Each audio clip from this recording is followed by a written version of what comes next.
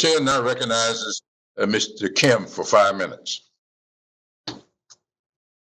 Thank you, Mr. Chairman. And thank you all for gathering here and, and talking about this. I wanted to just start by responding to a comment made earlier in this hearing. Uh, another member of this committee pressing his point about schools cited the American uh, Academy of Pediatrics about next steps with our kids.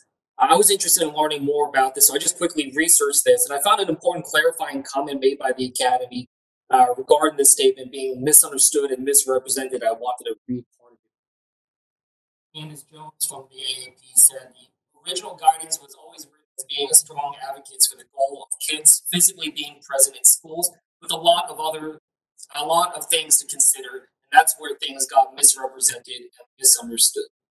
And in fact, she goes on to say we have we have to consider COVID activities in the community. Should not be politically motivated, and we have to think about what's best for our kids, teachers, and families. In fact, the American Academy of Pediatrics joined with the American Federation of Teachers, National Education Association, and others to issue a joint statement saying science should drive decision making on safely reopening schools. Public health agencies must make recommendations based on evidence, not politics, we should leave it to health experts to tell us when the time is best to open up school buildings and listen to educators and administrators to shape how we do this.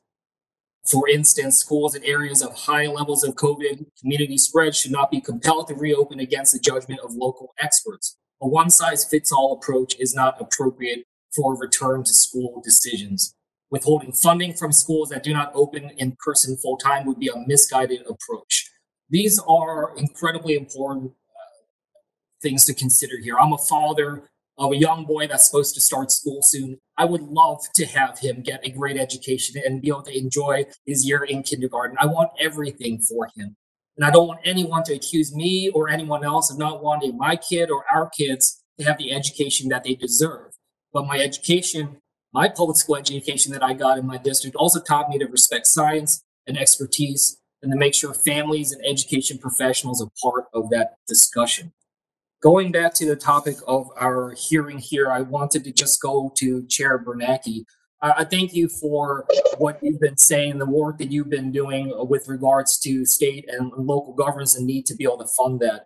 I was actually just at a small business committee hearing this morning where Treasury Secretary Mnuchin, I asked him about this issue, and he wouldn't commit to me that he would support this type of aid in the next funding package because we should not quote unquote bail out states with mismanaged budgets is, is how uh, we talked about it there.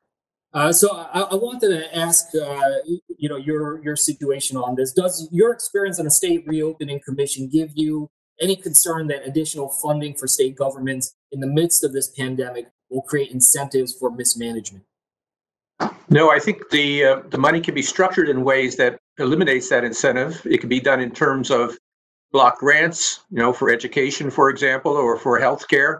It can be done by formulas that don't relate to the uh, existing tax burden, things like population, unemployment rate, et cetera. So I think there's ways to provide the money in, that will not be provided incentive for for mismanagement. You could make sure you could re- require that the money not be used to increase pension funds or cut taxes, for example. So uh, I, I, don't think that's really uh, an issue. And the more important issue is that the states and localities are both big employers and also the front line in terms of critical services uh, yeah. to the public. No, I appreciate that. And look, in addition to the issue about mismanagement that you addressed, I also want to address the use of the term bailout here because it keeps coming up again, came up in this hearing as well. In my state of New Jersey, we only get back around 75 cents to 81 cents for every dollar we put into the federal government. Other states get back a dollar, over a dollar, sometimes over two dollars for every dollar that they put in. So I just don't appreciate this notion that federal taxpayers are bailing out states like mine.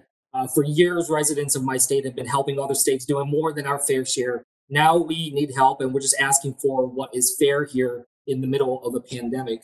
But even beyond that point, Chair Bernanke, uh, you talk about sort of the strong sense of the challenges that we face at the state level could have dire circumstances on the national economy. So it's, it's I, want to just hear a little bit more from you about that, about if we don't help states, what is that going to do when it comes to our, our responsibility to our national economy?